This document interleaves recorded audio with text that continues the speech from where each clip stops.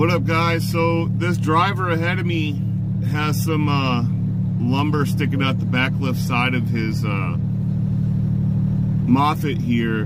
Um, when you see it from the side, it's going behind the Moffett sticking out a little bit. Um, you might want to red flag that just in case you get a really picky cop.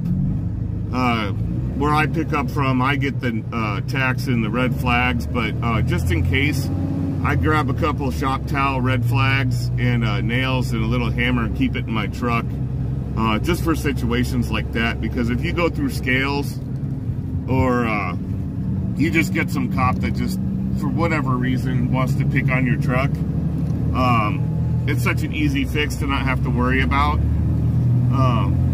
I don't know. Leave me a comment. What would you do in that situation? For me, I always err on the side of caution.